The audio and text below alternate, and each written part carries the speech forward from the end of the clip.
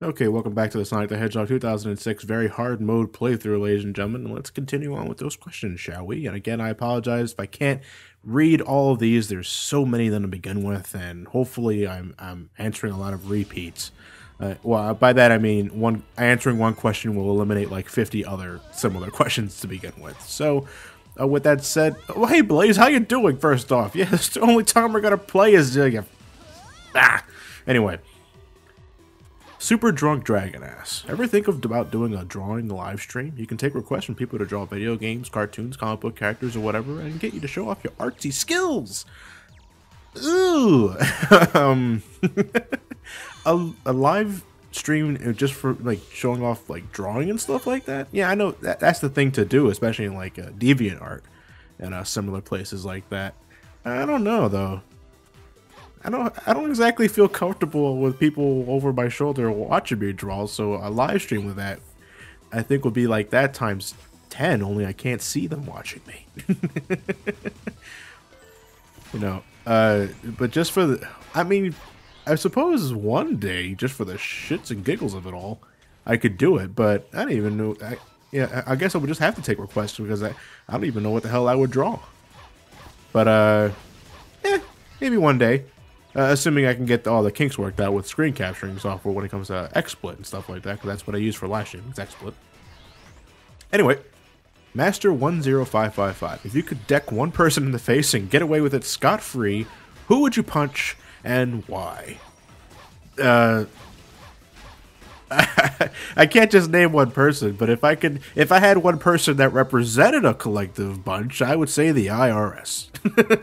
Just punch it in the face and get the hell out of there. I would still got to pay taxes though. That's the bitch of it all. You can't escape death and you can't escape taxes, ladies and gentlemen. Solid Awesomeness has asked, Have you ever heard or have played Dark Cloud? I've heard of it, never played it. It's a PS2 game, if I recall correctly. Uh, and that and if recall, the face of that guy in the cover was always staring at me every goddamn time I went to a Blockbuster video or Hollywood video, you know, for when I'm renting games. But I have never had the curiosity to finally pick it up and play it. I, I don't even remember what you do in the game. Sang Pogo are sorry. what is it about the Sonic stages in 06 that makes you want to replay them? I, I said this in the Some Call Me Johnny review, but if there's one thing I actually think they did relatively okay with in this game is the level design. It's just the controls and the, glitches and the collision detection that just fucks things up. But the level design I actually think is okay. You can remove a few dash panels here and there and jack up Sonic's overall speed, but level design I I think it's okay. To be perfectly honest, I'm I'm completely sincere on that. I keep scrolling up and I see Sonic Boom. Johnny, with the Kingdom Hearts Rechain of Memories scheduled after Link to the Past Let's Play, does that mean Kingdom Hearts 2 might be this summer's marathon LP? Uh, well, we're not going to be doing Kingdom Hearts 2 until the 2.5 HD remix comes out because Matt wants to do the final mix version of the game. And we've learned our lesson, ladies and gentlemen. I'm ugh, it's me and Matt's biggest regret when it comes to Let's Plays. You know, right after we finish the Kingdom Hearts 1 Let's Play, 1.5 HD remix was announced, and we were just furious. I was like, shit! If only we waited longer, we could have done the final mix version of the for the Let's Play. We could have showed you all the extra stuff that Japan players were able to flourish for so long. And now we and now we might come off as redundant because we want to play the final mix version at some point or another, but we have other Kingdom Hearts games to play first. So we're waiting till 2.5 HD Remix to come, comes out so that the Kingdom Hearts 2 we'll be playing for the channel will be a final mix. Alright, Shiro Zero the Dragoon, what is your opinion on the Disgaea game Ceres, and will you ever do a review on one of them?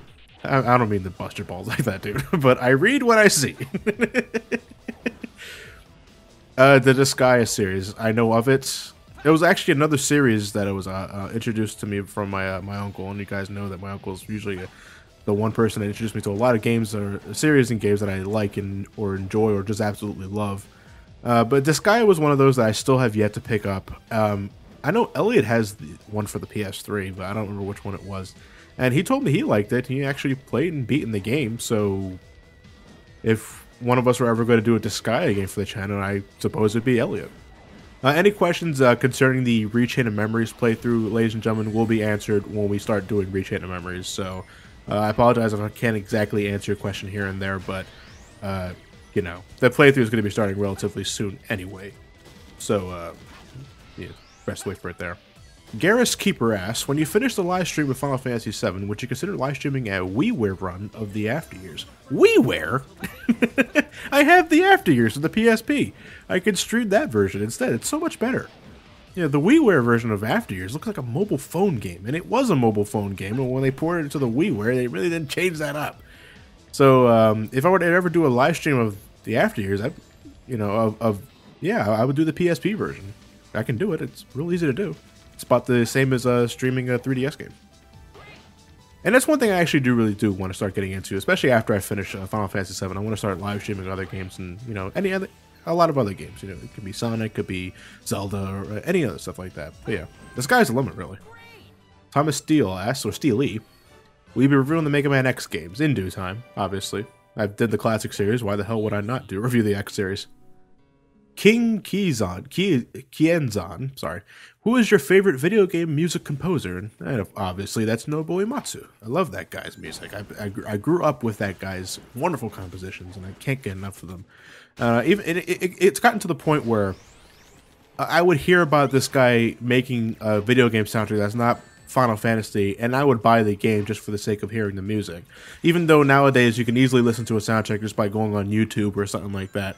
But you know, I, you know, I like to support developers and stuff like that whenever I possibly can, even if I may not, I may or may not enjoy the game. But uh, I love the guy's music, and uh, it's not just Nobuo Uematsu. I'm also a fan of uh, like uh, Yoko uh, Shimura. Off, off, the top of my head, I can't remember all of the names, but and I apologize if I butchered any of them. She's the one that pretty much composed a lot of the Kingdom Hearts music. She was also in Super Mario RPG. Uh, with that said, um, the other girl, uh, Michiru Michiru Michiru uh, Yama, Yama, Yamane or something like that. I, again, I'm, I'm so sorry I'm butchering these names, but she's um, responsible for a lot of Castlevania music. I'm a really big fan of her stuff.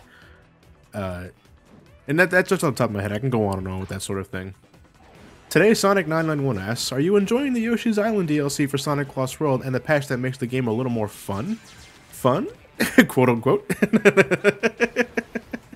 uh, I appreciate the Yoshi's Island DLC level making lives a complete non-issue, and I'm glad the patch you know, fixes things that should have been there to begin with, like 100 rings giving you an extra lives and stuff like that.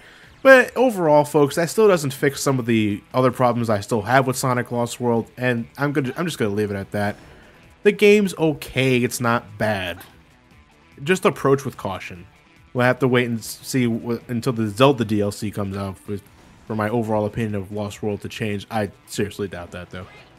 Frank Blar Honk asks, what are your thoughts on Sonic before the sequel and Sonic after the sequel? I've actually played a good chunk of before the sequel during a, a haphazard live stream I decided to do out of nowhere, and I like it. It, it kind of drags though, to be perfectly honest. But you know, it's a fan game. The guy put a, a guy or guys. I'm not sure if it was just one person or not, or if it's a ladies. I really shouldn't just say guys. People. I, I'm not sure uh, if it was just one person or not, but you know, I did enjoy it. I just think it has a lot of pacing problems. It just it just seems to go on and on. and I never touched after the sequel. I'm not going to after until I finish before the sequel. Fernando Casado asks, "Would you rather have Mega Man X in Smash Bros. 4 rather than Mega Man? Maybe, well, maybe as an assist trophy. No, i will be honest, no, because I just think classic Mega Man is, is just more uh, significant than X. Don't get me wrong, I love the X games. I, I can't get me enough of X1 especially, but when it just comes to significance and you know, video game history, you got to go classic Mega Man. He was there. He was there first. He, he laid the foundation for a lot of uh, uh, games in the series, if not just X and you know, Zero series and Battle Network. It all started with classic Mega Man, folks, and you got to remember that. Trueblade 0, uh, 808 asks, "What made you buy the DLC of Sonic 06?" Let's play. I'm gonna be perfectly honest. Let's play. It, it was if very hard mode was something that was a part of the game itself, very much like how SA2 or Sonic Heroes or Shadow the Hedgehog had very hard mode stuff like that, I wouldn't be wasting my time. But the fact that it's DLC that you have to pay for, it was was reason enough for me to buy the damn thing and to actually show it off. That is the only reason, ladies and gentlemen. Because you remember last year when I did the Team Attack Omega video, I didn't want to do uh, a very hard mode for Silver or Shadow entirely because fuck them. but, you know, for Let's Play's sake, I suppose, and you guys were probably going to ask me anyway, so I figured, okay, why not? I, I cannot escape the inevitable. I decided to purchase all the DLC, six bucks total. And, well, here we are. Joanne Alma Jose, or Alma Jose, there's no accent mark, so I'm going to say Alma Jose. What are some other Let's Players or game reviewers that you also watch? Well, when it comes to watching other people, oh, I guess I could get Let's Players out of the way first. Actually, let me load up my subscriptions. I actually don't watch much of other Let's Players, with a few exceptions here and there. It, it honestly depends. I don't. It wouldn't be accurate to say I constantly keep up with them, but rather I go back to every now and then. Like when it comes to RPGs, I watch AC Bailey.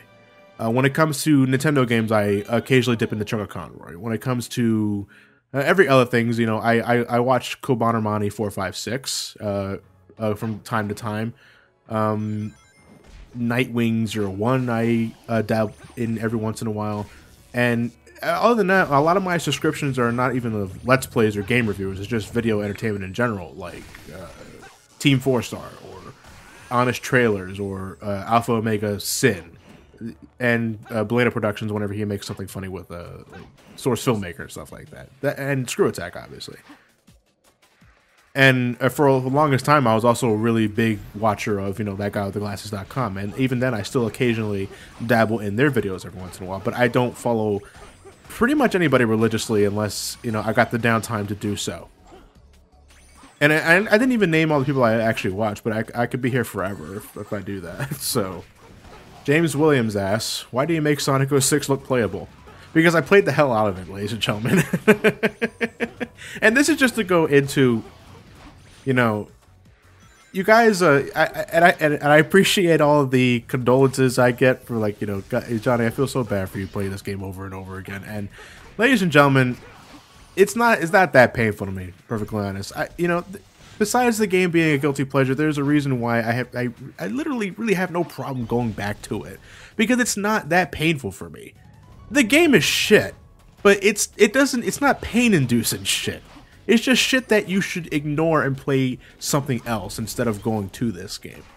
But when it come when you boil down to it, when it comes to the game itself, I played it so many goddamn times that I know what to do now. I know how the levels work. I know how the physics work you know, the only thing I can't really predict is collision detection, and when things decide to work, then it, you know, all that kind of stuff. Classic Keonis asks, have you ever played the Impossible game? I never heard of the Impossible game, so, uh, no.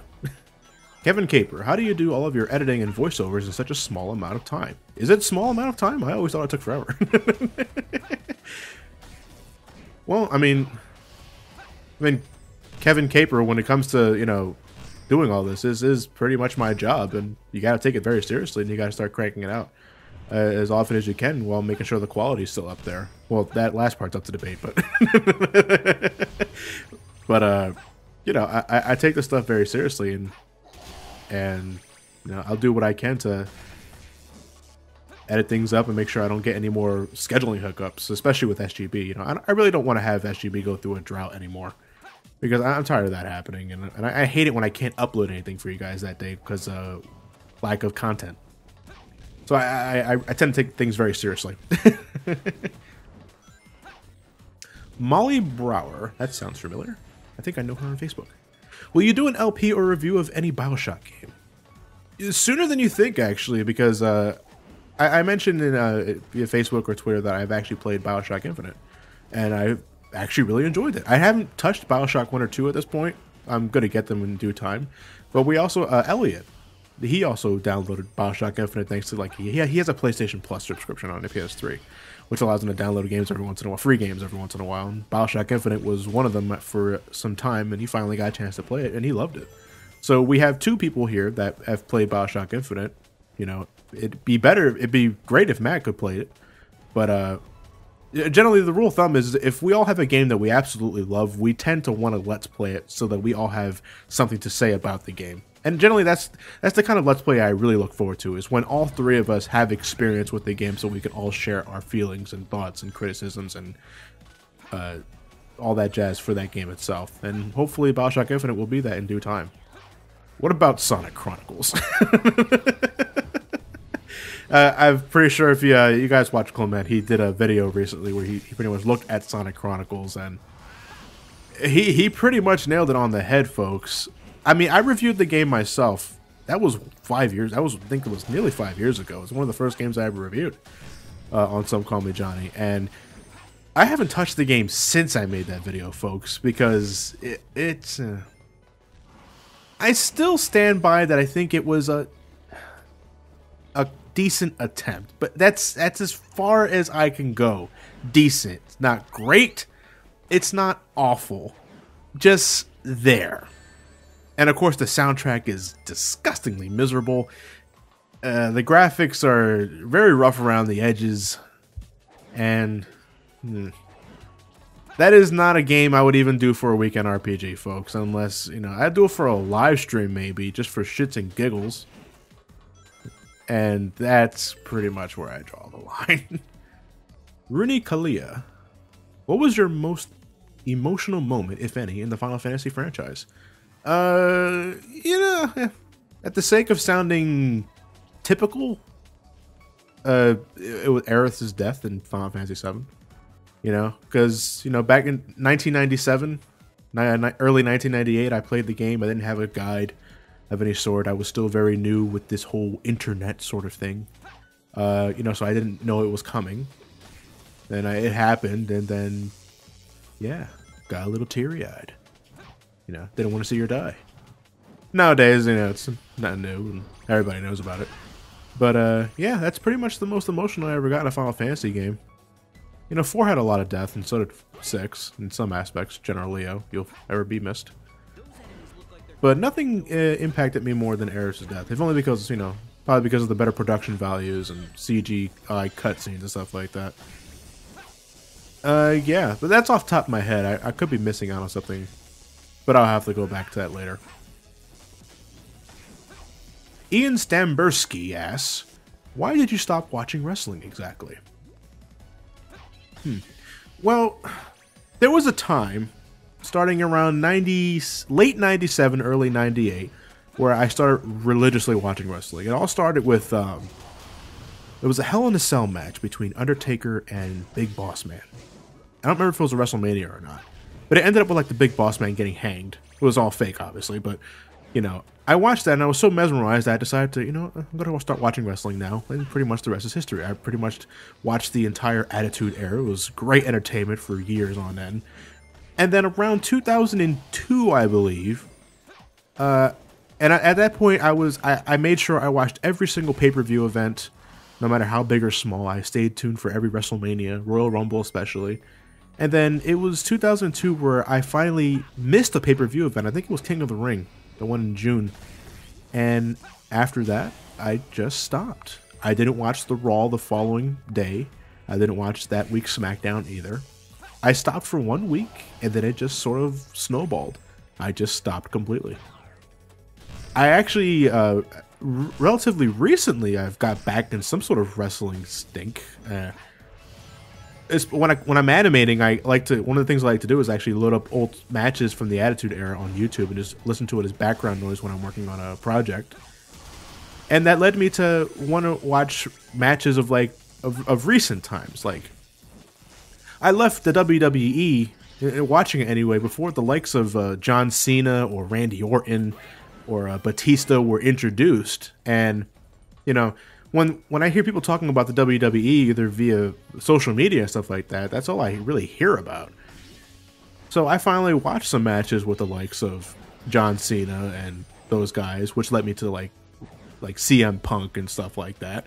And you know, it's still pretty entertaining. I, I will say that it's not exactly the same from what I've watched. It's definitely not as edgy as it used to be. For the it has something to do with like WWE being PG rated and stuff like that, but uh, it still makes for good background noise, if I can say that. And uh, who knows, I, I might actually buy this year's WrestleMania 30, if assuming it's not shit, like this year's Royal Rumble was. I spent money on that. Uh, Blue Blur 86CP. When are you getting a PlayStation 4? If you do, if you tell when, will you post a video about it? I actually did recently just buy a PlayStation 4. I, I posted a picture on it on my Facebook. Uh, then I can't blame you if you don't really exactly follow me on Facebook or stuff like that. But yeah, I got the system. It's sitting there right now. Just uh, I got all the proper updates for it, and I bought Tomb Raider, the definitive edition for it. But uh, right now, I'm a little too busy to really play the damn thing because uh, I have I have shit to do. but yeah, I do have one. Maybe in three years or four years' time, I'll finally get an Xbox One, assuming it has some game that I absolutely must play that I can't get anywhere else. Alexa Spirit of the Wind. Why do you like Sonic in general as a character and as a game? Uh, Sonic is just someone I've been following for years on end. That's just something you gotta understand. I've been following the guys since 1990. Yeah, it wasn't. It, it wasn't at the very beginning of the Hedgehog's lifespan because uh, the very first Sonic game I ever played was 2. You know, I had to go back to 1 at one point or another. But there was a time in the early 90s to the mid 90s before the PlayStation entered my life where I was nothing but Sonic the Hedgehog. I, you know, I, I, I visited my aunt's house a lot and my cousins had a Sega Genesis. And if it wasn't Streets of Rage 2 or Miss Pac-Man, it was Sonic the Hedgehog. That's all I played. And I just I fell in love. I, I thought it was so fun. Bright, colorful graphics. You know, it, it fed my young eyes, and the gameplay was fast paced, which I loved. And really, the rest is history. I, after that, it only took that play. It only took those playthroughs of Sonic 2 to really want me to follow up on Sonic the Hedgehog. So I got Sonic 3. Got the 3D games when they came out. I just like Sonic the Hedgehog. I really do. Pedro Ricardo will ask, when will you and Elliot, Matt, and Mark do Super Luigi U or Super Mario 3D World? Whenever we can all meet up together and Mark doesn't have that much and Mark has a lot of time to kill when he's not when he's not working at the military because he's a military police officer or he's military police so he has to go back to his station you know when duty calls and you know and if whenever we can finally meet up and record, then we will do it. But I can't say when we will do it because that's you know that's up to time and when we can schedule it. So I, I can't give you a date on that. It's just whenever we can get to it. That's the best answer I can give you. Legendary Boss Hunter, though, just to follow up on the 3D World question. John, how come you and the BSC crew never did an impressions video on Super Mario 3D World? Well, in a few months' time, you might get something a little better. I'll leave it at that. Pixel Chaos. Thoughts on Lightning Returns? Any hype? Any disappointment? Nothing, actually. I have nothing. because I have yet to beat 13. And I have yet to beat 13 too. I have both games, by the way, but I have yet to buy Lightning Returns. And assuming I even like, you know, assuming I beat 13 and I like what I play, and I, I like what I play with 13 too, I may or may not even get Lightning Returns. And Final Form Sonic Penis? What about it? you no context on that question, man. Sega Nesquik asks, do you read any of the Sonic stories that exist on fanfiction.net? No, I don't visit fanfiction.net, period, so... Uh, Volzani Solas, I, uh, I think that's how you pronounce your name anyway. Uh, how did I meet Matt? There's questions like really up there on the list, because I, I know you, you, you asked. It's one of the first questions I saw when I started scrolling down. How did I meet? Well, Matt's a high school friend of mine. We, we met in ninth grade and we've been friends since. We um, well, in terms of just how we started talking to each other, we were positioned close to each other. It was it was a math class, and I don't remember how exactly we broke the ice in terms of conversations, but it involved Final Fantasy. Uh, can't remember if it was nine or ten, but it was one of those two. We just started talking about it, and the rest is history. We've been friends since. But I will begin to answer more questions with part 3 of the very hard mode with Silver. I'll see you guys tomorrow.